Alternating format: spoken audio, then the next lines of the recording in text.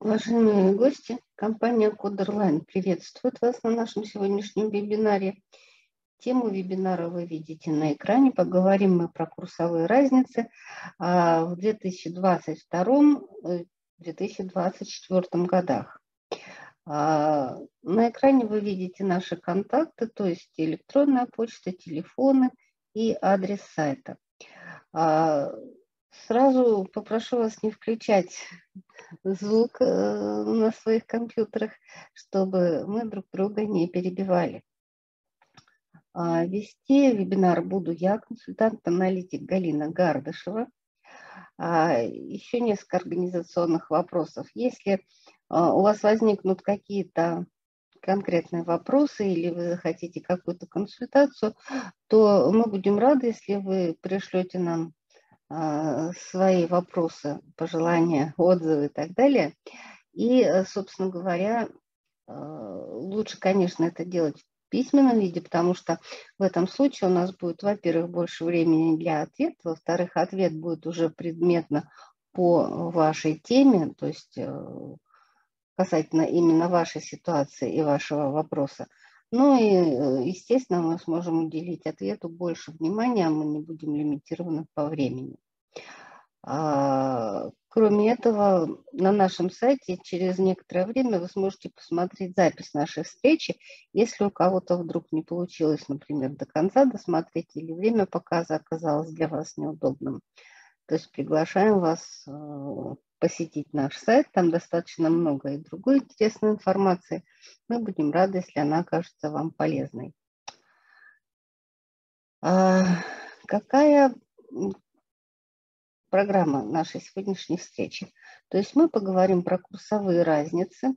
Смотреть мы их будем на примере ERP 2.5, то есть э, какие изменения произошли в этом году, какие изменения ожидаются в следующем году, ну и, соответственно, а, поскольку у нас период 2022-2024, то есть э, что планируется за это время. А, поговорим про сроки действия изменений, потому что некоторые из них временно. А, кого они затронут, то есть какие организации, предприятия. В принципе, это сам по себе вопрос по учету курсовых разниц, он не новый, он достаточно уже всем знаком кто работает с валютными счетами, с валютными контрагентами. А, просто напомнить, э, кого коснется это и э, какие изменения вот на данный момент у нас действуют. А, поскольку эти изменения затрагивают в основном налоговый учет, то есть, соответственно, это изменения, которые отражаются в декларации по прибыли, а, мы немножко коснемся декларации по НДС, то есть попадают или не попадают туда а, эти изменения, то есть курсовые разницы, когда они возникают, где и э, с чем их едят. А, ну и, соответственно, что в отношении ERP сделано для этого, какие есть новшества и доработки. Итак, кто применяет э, для кого важны э, курсовые разницы. То есть, в принципе, курсовые разницы, поскольку в первую очередь влияют на налог на прибыль, то, соответственно, это коснется тех, кто применяет ПБУ 1802. А, вы на экране видите схемку, где достаточно, в общем-то, э, сжато э, показано, кто а, применяет это ПБУ, то есть кого это коснется в первую очередь, и кого не коснется, но а, например, э, кредитные организации, государственные муниципальные учреждения, то есть то, что вот у нас красной рамочкой введено, э, которые не применяют ПБУ, у них э, другая ситуация. А, то есть имеют право выбора применять или не применять а, ПБУ организации, которые применяют упрощенные способы учета, то есть которые могут сдавать упрощенную бухгалтерскую отчетность. То есть в эту категорию у нас попадают в основном а, предприятия малого и среднего бизнеса, поэтому вам обязательно нужно проверить, а, есть ли ваше предприятие в реестре, а, то есть отражено, что вы имеете право применять эти спецрежимы.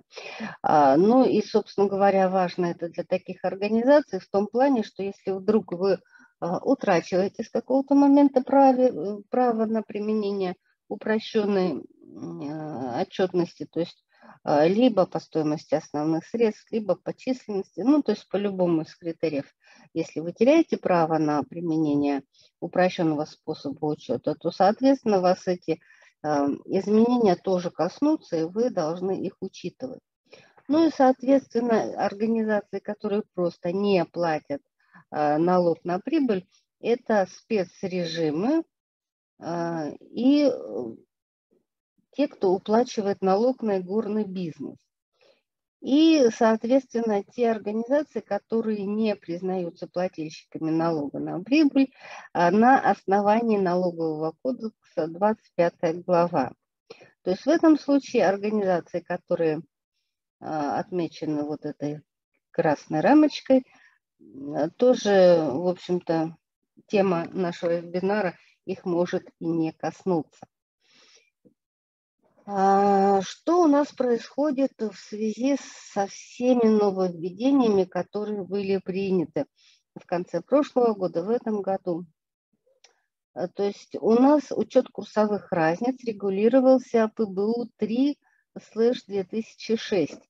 А, то есть это приказ Минфина от 2006 э, года. Соответственно, указаны проводки, которые затрагивают отражение курсовых разниц. И э, вы видите на экране, когда э, курсовые разницы возникают. То есть в первую очередь, естественно, это если расчеты с учредителями у вас велись в какой-то валюте. Если идет переоценивание активов, которые находятся в деятельности вне Российской Федерации. И в остальных случаях, когда курсовые разницы у нас зачисляются на 91 счет. А, вот здесь нужно быть очень внимательным, потому что а, на 83-м счете у нас, естественно, отражается с учредителями. А вот в остальном, то есть если 91 счет участвует в отражении курсовых разниц, то в декларации на прибыль у вас э, будут, соответственно, положительные попадать в доход, отрицательные в расход. То есть у вас э, на 91 счете в декларации по прибыли отразится полностью оборот по э, учету курсовых разниц. А, когда они у нас возникают? Ну, во-первых, курсовые разницы возникают при переоценке валютных остатков либо на вашем счете, либо э, в кассе. Ну, чаще всего это банковские валютные счета, но тем не менее и касса тоже в этом участвует. Если у вас есть дебиторская задолженность за переданные товары, либо услуги, либо работы –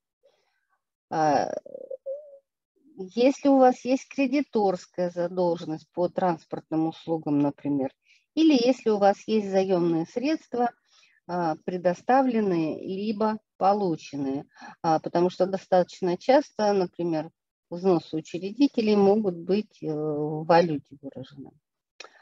Если у нас отрицательная курсовая разница, то, соответственно, у нас в проводке формируются по дебету 91 счета и по кредиту ну, практически всех денежных счетов. То есть касса, валютный счет, э, транзитный, то есть возникают курсовые разницы по 57 счету чаще всего. Ну, естественно, 60-е счета – это если у вас либо покупатели, либо поставщики тоже э, иностранные компании.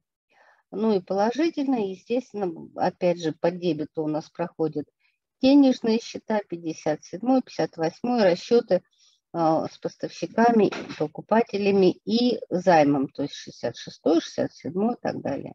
Ну а по кредитуции в этом случае 91 счет.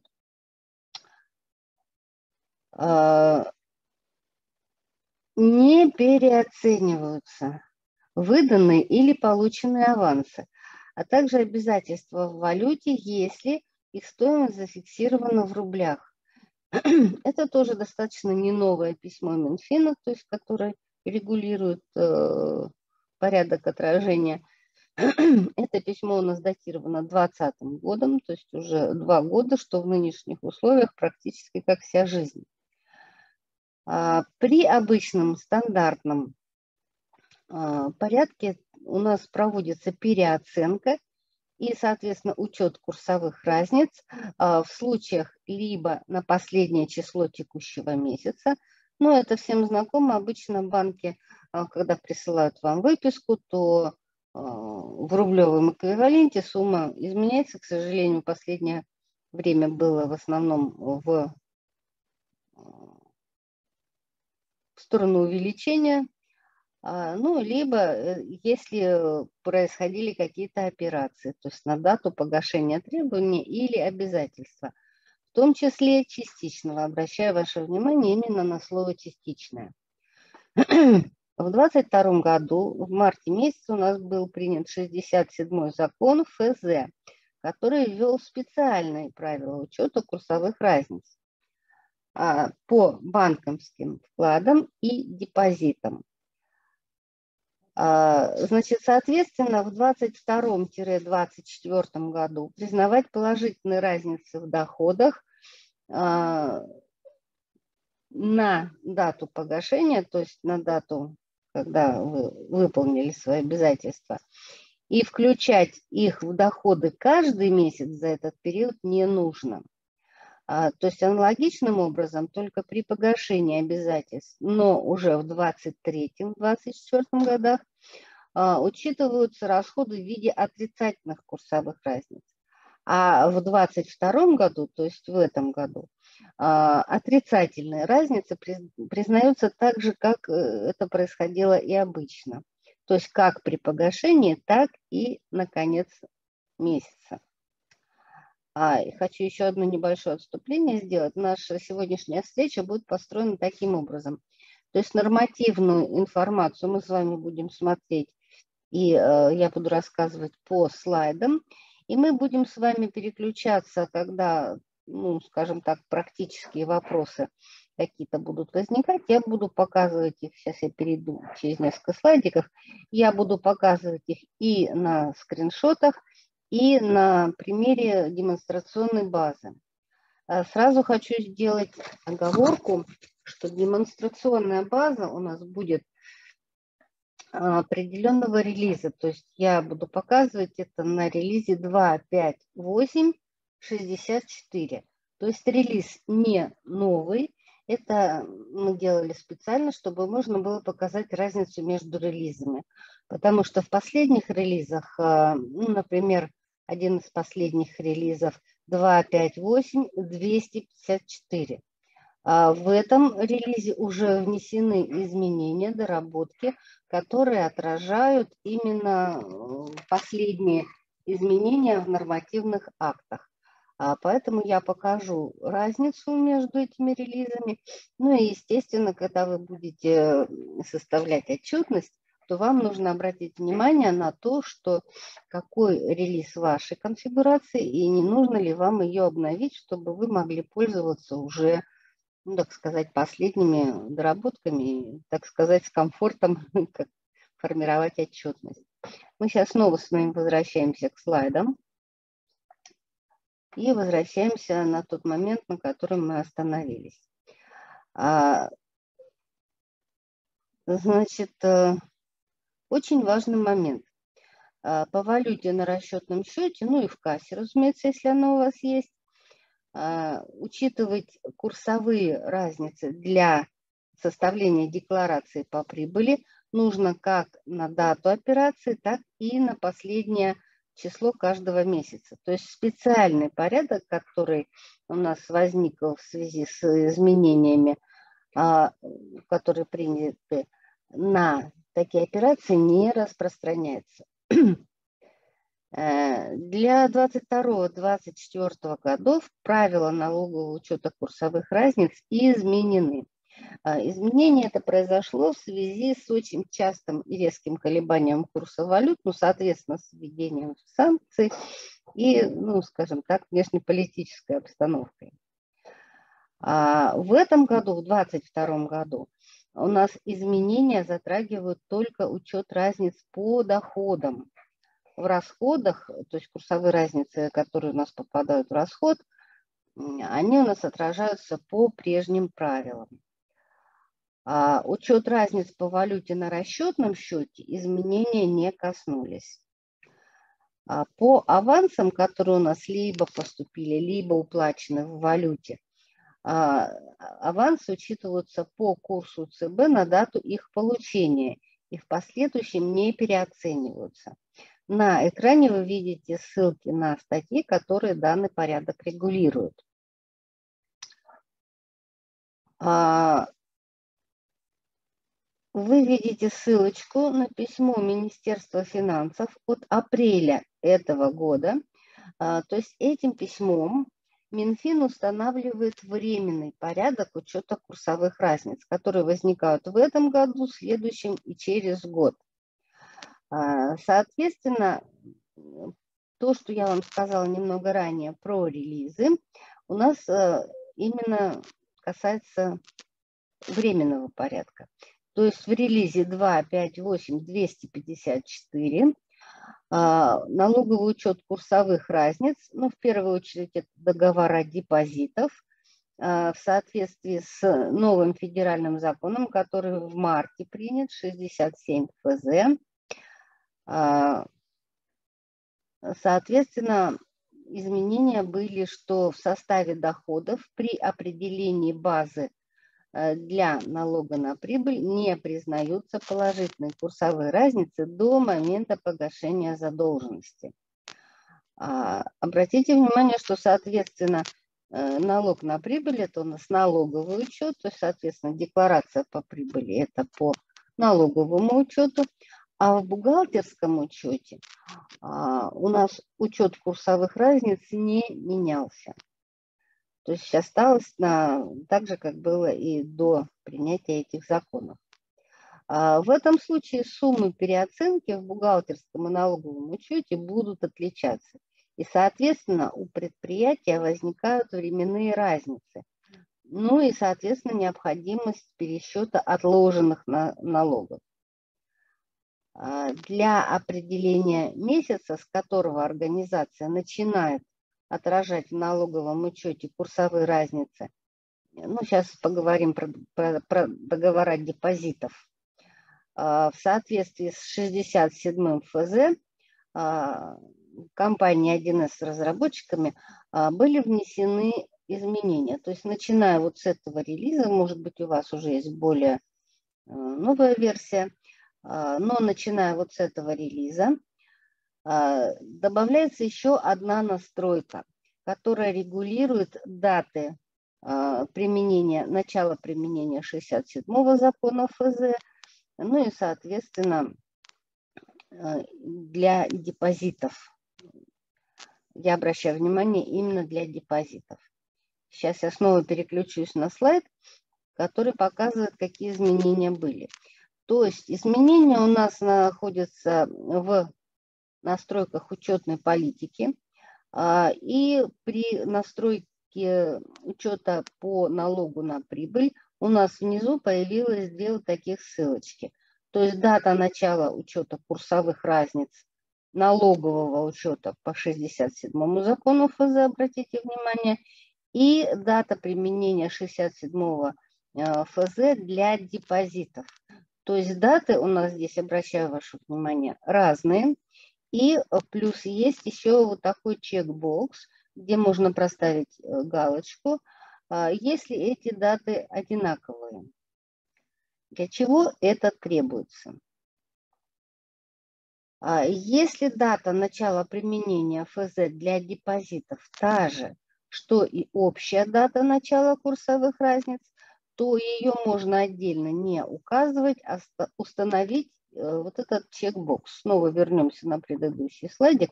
То есть если мы вот здесь вот проставим э, чекбокс, то вот эту дату можно не проставлять. И, соответственно, будет считаться, что она равна вот этой дате. А, возвращаемся снова к нормативному, к нормативным документам, так сказать.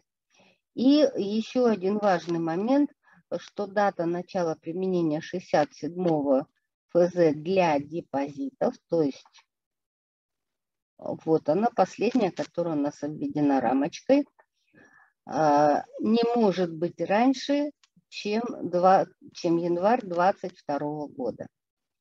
Если в учетной политике установлено применение закона для договоров депозитов позже, чем 1 января, тогда при закрытии месяца, который мы указываем на стройке дата начала применения 67 ФЗ, будут сформированы корректирующие проводки по налоговому учету, и, соответственно, они будут storнировать излишние признанные доходы и расходы. Ну, то есть, соответственно, закрытие месяца в этом случае будет пересчитано. Если же в учетной политике организации настройка учет отложенных налоговых активов и обязательств ПБУ-18, учет расчетов по налогу на прибыль организации, стоит, э, что мы выбрали балансовый метод с постоянными и временными разницами – разницами, тогда в проводках будут отражены временные разницы.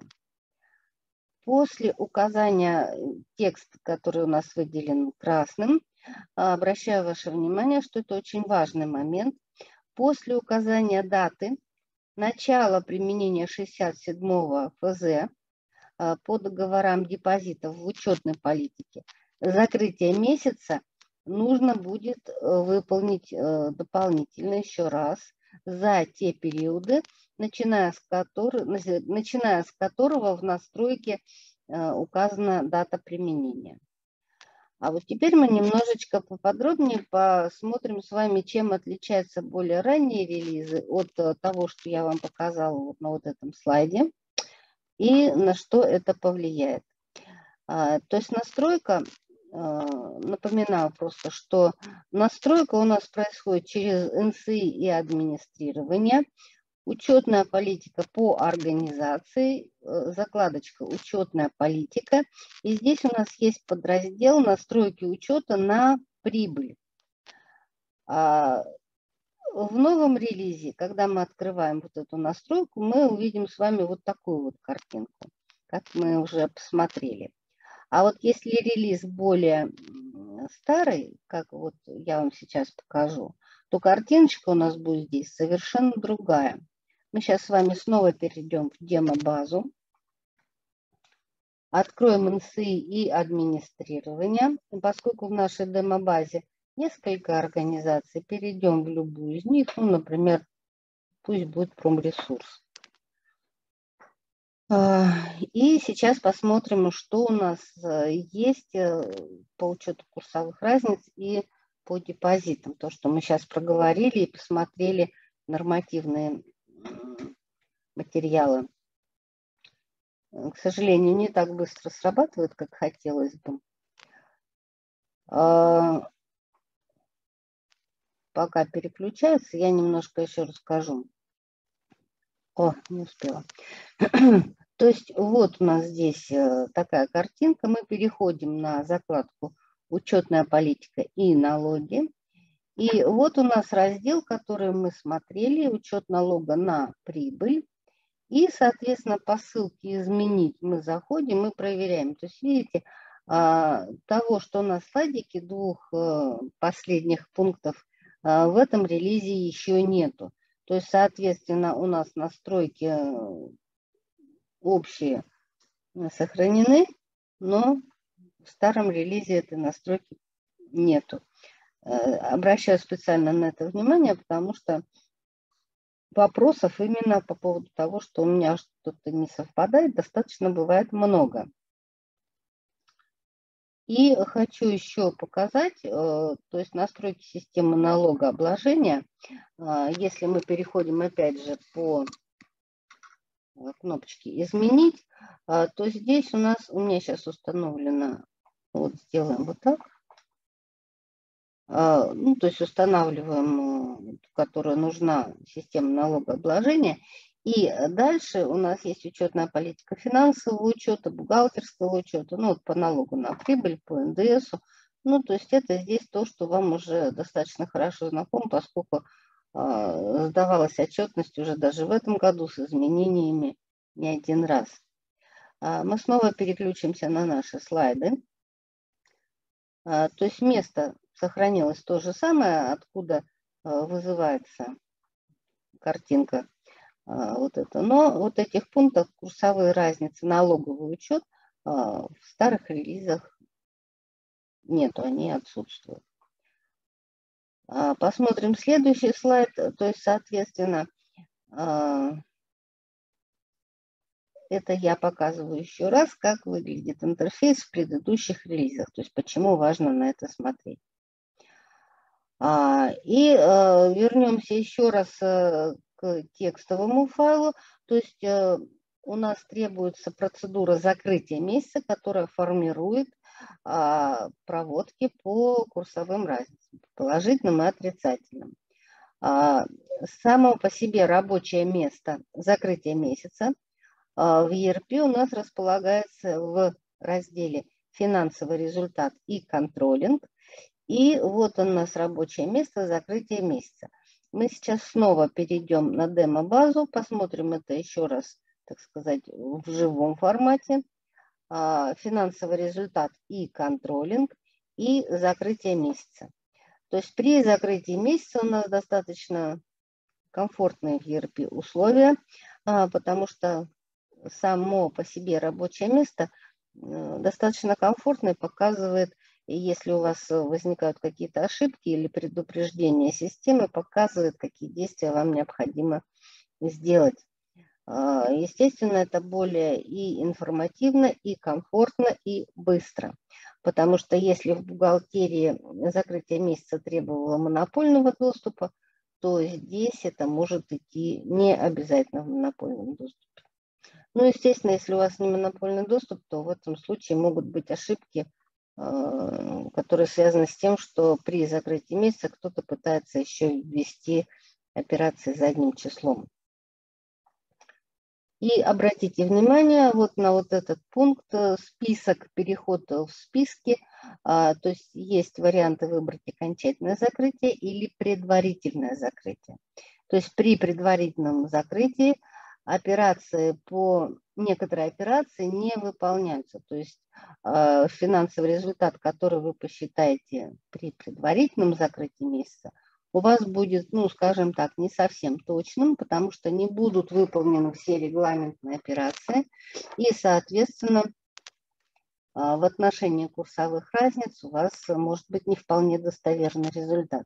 Поэтому, когда вопрос касается закрытия месяца именно полного окончательного расчета себестоимости, э, то выбирать нужно окончательное закрытие.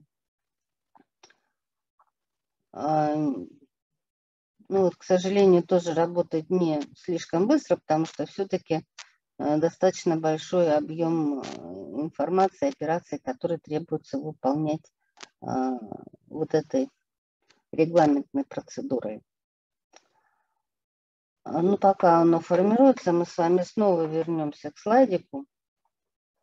А, значит, соответственно, когда мы запускаем а, закрытие месяца, то у нас будет вот такая картинка. Пока у нас э, в базе это произойдет, я вам покажу на слайде. Значит, э, программа сформирует предупреждение, что операции есть, которые требуют ручного оформления. Ну вот э, для организации, одной из организаций, которая у меня есть в базе, Деловой союз, э, не указана дата начала переоценки депозитов по 67 ФЗ. И здесь есть пунктик указать, то есть ссылочка, что нужно выполнить.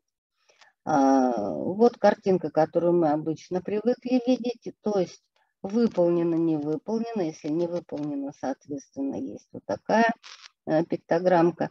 И подробнее это мы открываем все ошибки, которые у нас вываливаются при закрытии месяца, что программа нашла. А, поскольку я показываю на, на предыдущей версии, у меня это э, строчка, где а, то, что мы сейчас с вами посмотрели, то есть вот эта строчка для организации, не, на, не указана дата начала перехода, у меня она отсутствует. А дальше, ну, собственно, достаточно стандартно, то есть здесь мы видим, э, какие надо сделать операции и подробности, если меня не интересуют, можно посмотреть. Снова вернемся к, нашей, к нашим слайдам. И посмотрим дальше. Э, то есть, э, как мы уже посмотрели, как я уже сказала, э, по гиперссылке указать, то есть вот по вот этой ссылочке, вот, а, мы переходим в налоговый учет по 67 закону, то есть параметры учета, и я должна указать даты, с какого момента этот переход должен осуществиться. Значит, информация, а, хранение информации о, об оценке по договорам депозитов, если это валютные договора, а, Соответственно, у нас происходит в регистре расчеты по финансовым инструментам. Обращаю внимание, налоговый учет, то есть это налоговый учет и проводки по переоценке в налоговом учете формируются по данным именно этого регистра. А первоначально, ну то есть начальные сведения в этот регистр заполняются данными по состоянию на 1 января 2022 года. Ну это при первом введении, потом после обновления э, информационной базы, соответственно, и перепроведение закрытия месяцев, это да, тоже будет изменяться. А, что у нас в этом случае? То есть вот мы с вами зашли в учетную политику, мы проставили там даты, с какого момента у нас э, по э, депозитам изменяется. И в этом случае а, у нас происходит процедура расчета курсовых разниц в налоговом учете, ну, соответственно, по договорам депозитов валютных. А при этом перерасчете у нас возникают либо положительные, либо отрицательные курсовые разницы, то есть, соответственно, либо а, возникает доход, либо а, доход уменьшается. То есть, если у нас курсовые разницы приводят к образованию дохода, то переоценка не выполняется и доход не начисляется. Если при переоценке а, у нас получается отрицательная разница, то есть а, меньше, чем текущая налоговая оценка, то признаются расходы и устанавливается новая налоговая оценка. При отражении выплаты по договору депозита, в том числе это может быть и частичная выплата по договору депозита, начисляется курсовая разница относительно текущей на данный момент налоговой оценки в части, которая будет погашаться. А, то есть, соответственно, сейчас мы с вами говорим, а, ну, в основном договора депозитов, если это валютные, чаще всего это расчеты с учредителями. А, когда у нас может быть, что а, идентична а, курсовая разница и в налоговом учете, и в бухгалтерском учете. Вот здесь есть одна тонкость, обратите на нее внимание.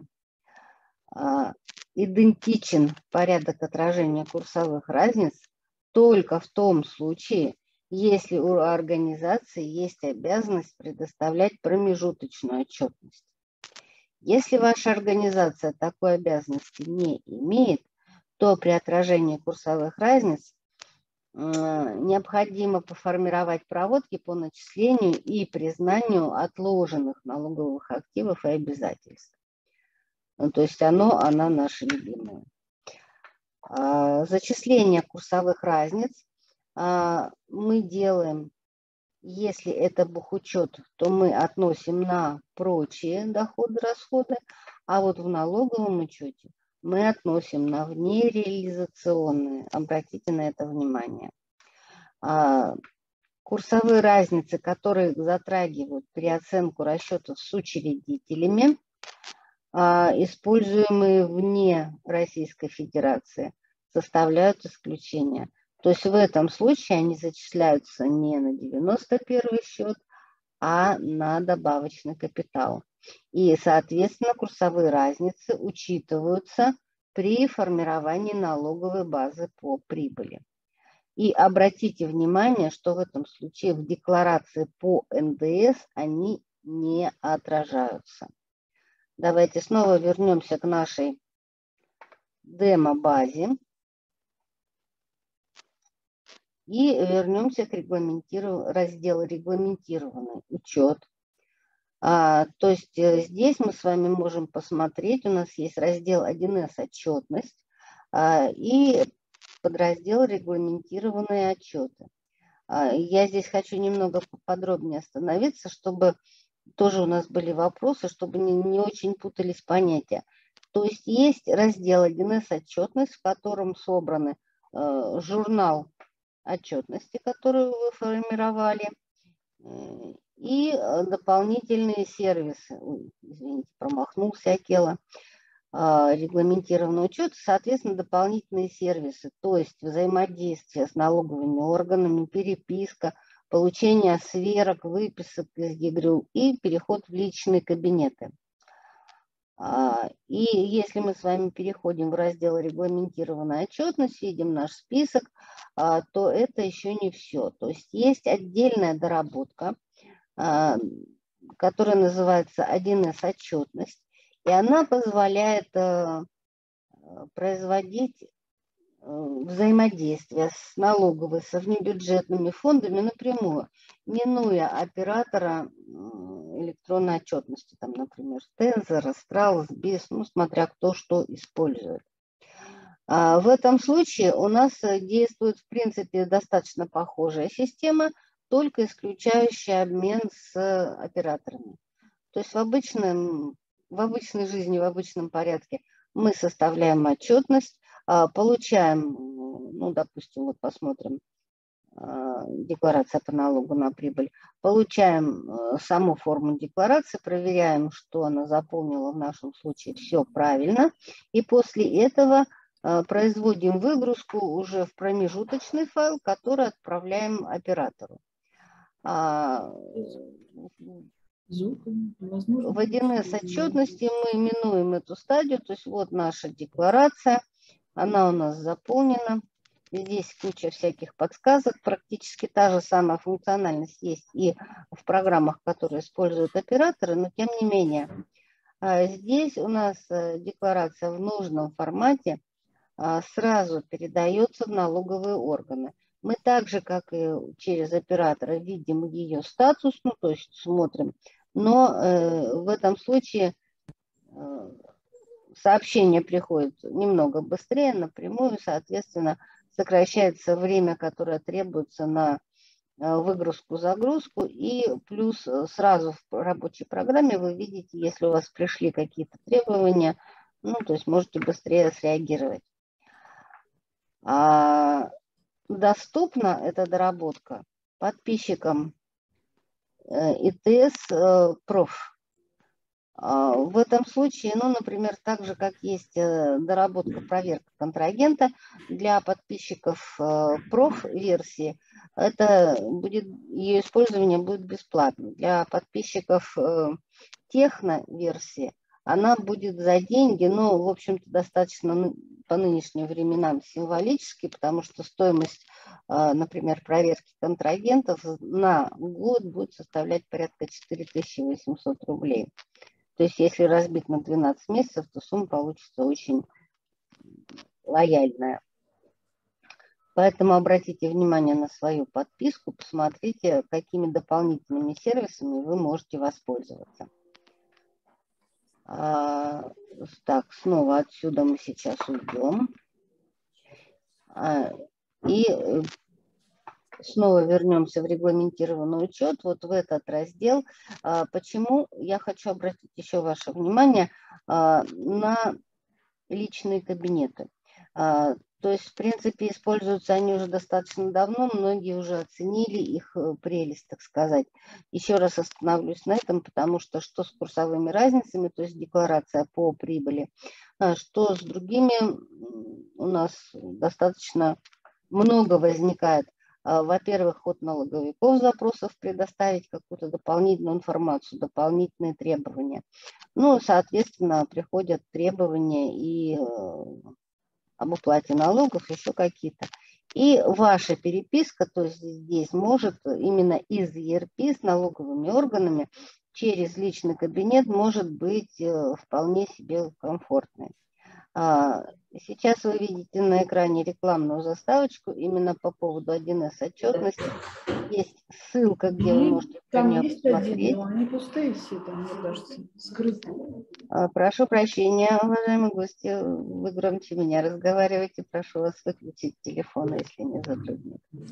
А, и инструкция, как ее запустить. Соответственно, здесь, если у вас нет своего IT-специалиста, то можно почитать и сделать это самостоятельно. Это несложно.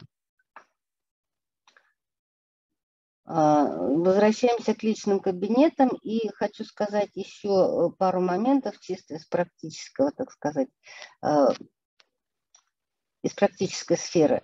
То есть через личный кабинет, ну, например, вот э, мы переходим через личный ФНС, личный кабинет, мы переходим сразу на сайт налоговой инспекции, э, где э, можно практически э, без дополнительных каких-то шагов видеть всю информацию про собственную организацию, вести переписку и так далее. Только здесь, обращаю ваше внимание, у вас должна быть оформлена квалифицированная электронная подпись, которую с 1 января этого года – выпускают тоже только налоговые органы.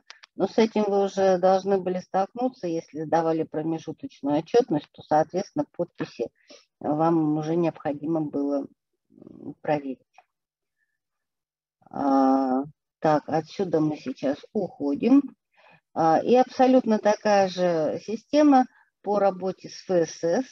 Обратите внимание, по ФСС есть отдельный личный кабинет для работы с электронными листками нетрудоспособности. То есть больничный у нас с этого года только в электронном виде, что с одной стороны очень упростило жизнь, потому что поликлиники сразу передают э, данные про больничные в ФСС. С другой стороны, немного осложнило жизнь, потому что требуется ну, постоянно, во-первых, отслеживать статус больничных листков, все прошло из ваших документов, что вы отправили или нет и так далее. И отдельную э, хочу обратить ваше внимание на статистику, то есть вот ФТС, э, здесь мы тоже можем напрямую перейти на э, сайт статистики. И почему я на это обращаю внимание, потому что с этого года ФСС стала реально страховать страхователей Э, штрафовать, и штрафы достаточно большие, э, от 70 тысяч рублей и выше. Соответственно, э, в этом случае нужно обратить на статистику особое внимание, чтобы не попасть под штрафные санкции. Итак, мы отсюда с вами уходим и снова возвращаемся к нашим слайдам.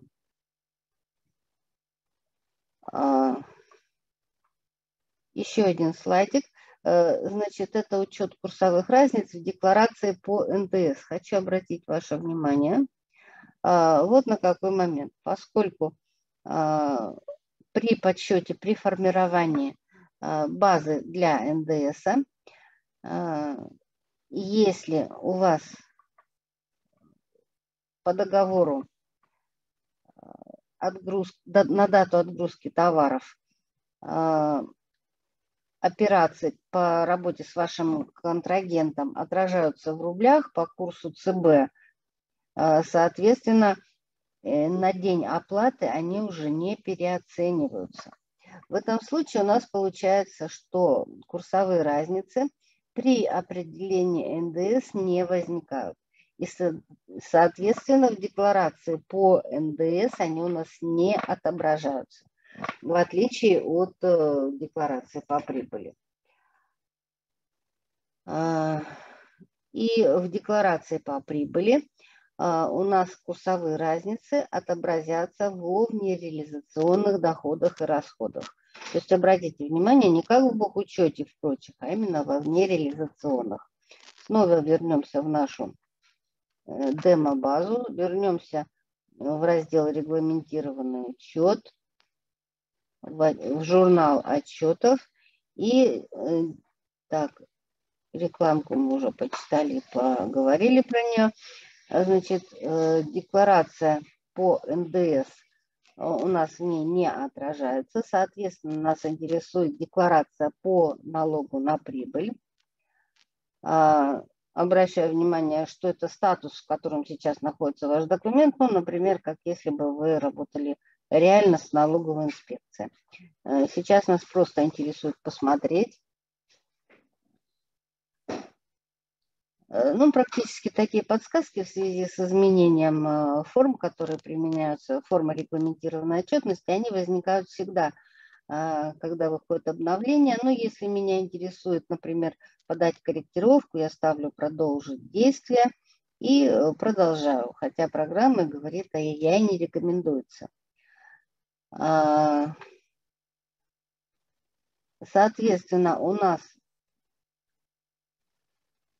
Э, ну, в общем-то, привычные приложения ко второму листу, а, отражаются выручки и, э, соответственно, если они у нас есть, вне реализационные доходы. В моем случае они есть, значит, соответственно, и при расчете расходов точно такая же будет картинка. А, точно так же, ну, вот тут у меня нету. А, еще на что хочу обратить ваше внимание при работе с декларациями.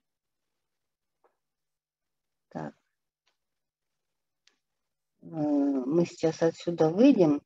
А, при работе не только с декларациями, при работе с отчетностью, с 6 НДФЛ, например, а, Хочу обратить внимание вот по 6 НДФЛ, наиболее показательные э, примеры, если можно так сказать.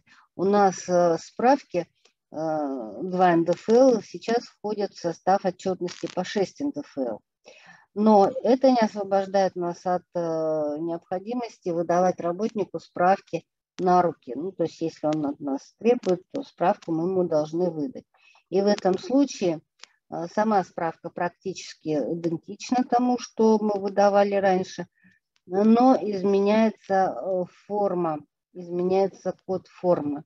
Поэтому обратите внимание вот на это приложение, которое есть и в отчетах, и в декларации, э, в декларациях, соответственно.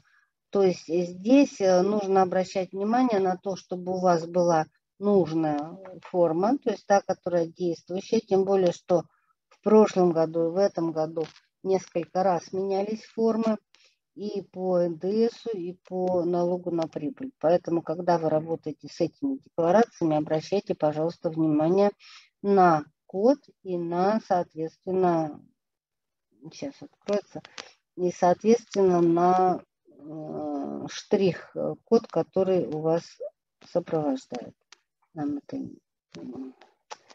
извините, неправильно сделано. Продолжить. То есть форма, а, которая применяется а, сейчас, должна, естественно, соответствовать тому, что есть в вашей а, конфигурации. Так, с этим мы пока позакрываем лишнее. Вот. И вернемся снова к регламентной операции. К сожалению, он до сих пор думает. А, вот то, что я хотела показать. То есть у меня выставлено окончательное закрытие, может быть предварительное закрытие. Если мы закрытие месяца выставляем предварительное, ну, во-первых, э, программа подсказку выдает, что существуют невыполненные операции. Ну, а во-вторых, э, будет предупреждение, что будет отражена не полная, ну, не вполне полная информация. А,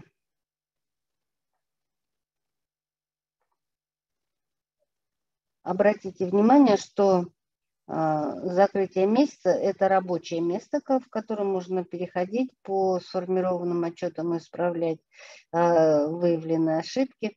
Есть еще меню «Регламентные документы», где мы соответственно, можем некоторые дополнительные действия сделать. Э, то есть просмотреть, вот видите, расчет курсовых разниц. Э, возьмем наш деловой союз, то есть при закрытии месяца здесь у вас будут отражены уже данные э, с учетом изменений. Если вам вдруг по какой-то причине необходимо установить, например, на каждый день месяца, раньше банка, банки, некоторые банки присылали выписку, которая отражает переоценку на каждый день. А, ну, то есть это, во-первых, трудоемко, во-вторых, очень много места занимает, ну, то есть не вполне удобно этим пользоваться. А, но если вам что-то нужно, то можно открыть и посмотреть, и, соответственно, получить отчеты, которые связаны с движением документов. А, Напомню, что изменения, которые у нас появились в последних релизах, находятся в разделе настройки учета налога на прибыль. То есть здесь добавляется два поля, в которых мы устанавливаем даты. И тогда уже не надо переживать на тему того, что э, это нужно отобразить каким-то другим способом. Так, снова возвращаемся к нашим слайдам. И я хочу вернуться снова на первый слайд, а, собственно, показать еще раз наши контакты.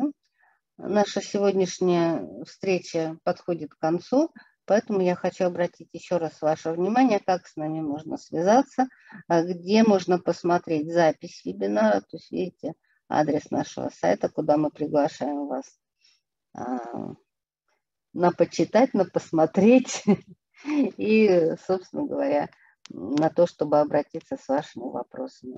А, компания Coderline выполняет полностью весь спектр а, операций работы, связанных с программами семейства 1С, то есть это и внедрение, и разработки, и продажа, установка, настройка, ну, то есть все, что связано с программами 1С, наша компания выполняет давно, успешно, и будем рады помочь вам, если у вас возникнет такая необходимость.